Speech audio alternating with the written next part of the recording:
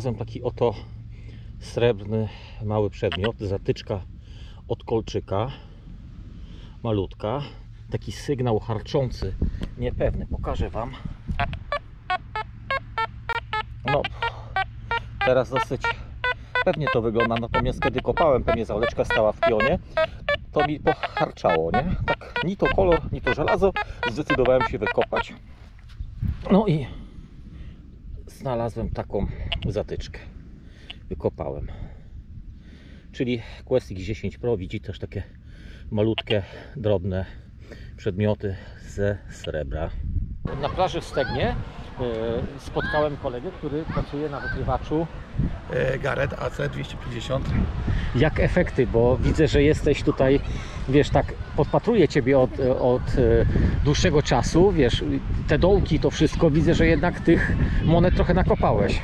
No i troszeczkę, troszeczkę znalazło się, ale e, powiem tak, no na skromny obiadzik będzie. A na skromny obiadzik będzie. Miło.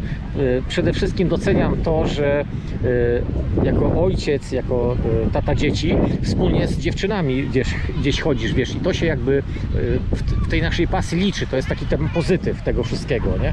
Ja, Oczywiście.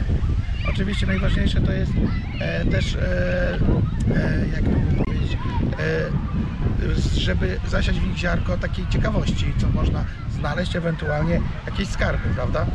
Prawda, to jest najważniejsze, nie? Ta pasja, to odkrywanie, nie? Odkrywamy na nowo ciągle historię. Natomiast na plażach nadmorskich to jednak znajdujemy współczesne monety i biżuterię, nie?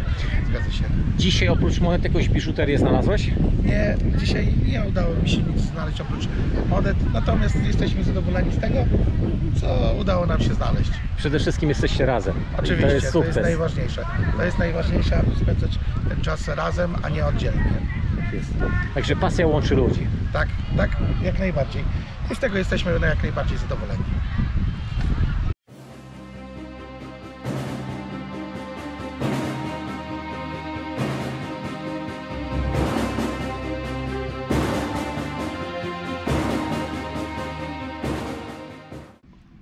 Bardzo ciekawym rozwiązaniem w tym wykrywaczu jest funkcja AM, czyli All Metale, wszystkie metale. Jest to funkcja, która pozwala na bardzo głębokie penetrowanie ziemi, natomiast nie jest wskazane szukanie tą funkcją All Metal na plażach, dlatego że będziemy zbierać wszystkie gwoździe i drobne elementy metalowe. Co zrobił producent? Pod ikonką AM mamy wykrywacz w tak, tak zwanym stanie wszystkie metale, czyli tak jak wspomniałem, widzi wszystko, natomiast e, dodano jeszcze funkcję tak zwanego thresholdu.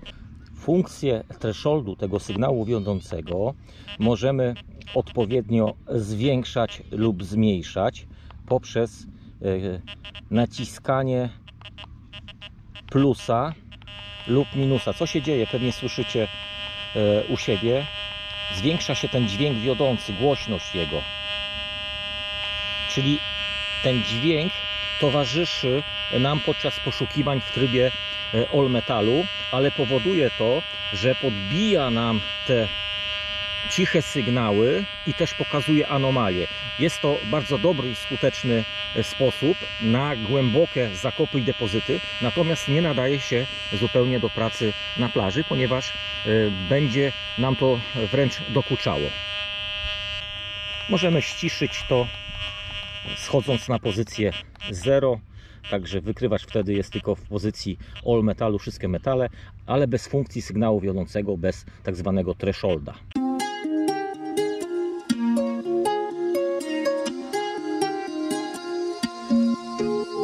Uwaga na głowy, bo można się nabić na tego typu haki.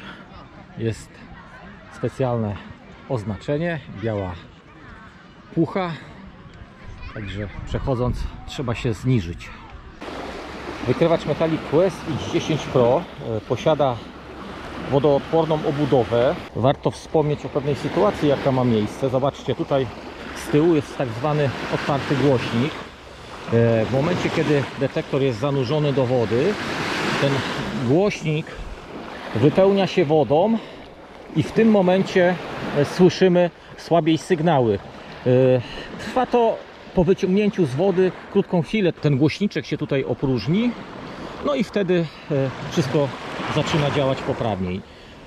zaraz Wam zademonstruję, jak to wygląda.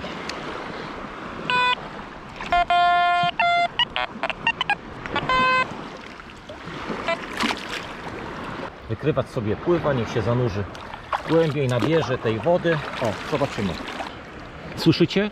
Działa ciszej, natomiast to chwila, moment i zaraz e, jakby dojdzie do normy.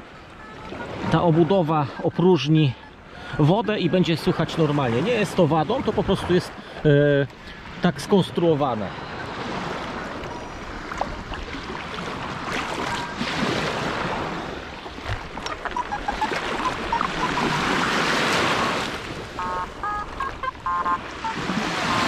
Słychać taki przytłumiony głos.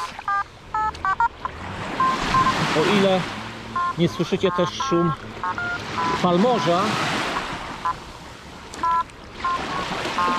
zajdziemy na suchy ląd. Odczekamy chwilę i zobaczymy jaki będzie efekt.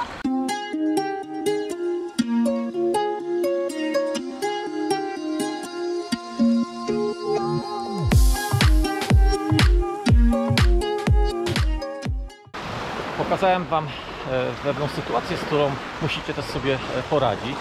E, W momencie, kiedy zanurzycie detektor pod wodę, głośnik nabierze wody i siłą rzeczy będzie wydawał mniej wyraźnie sygnały.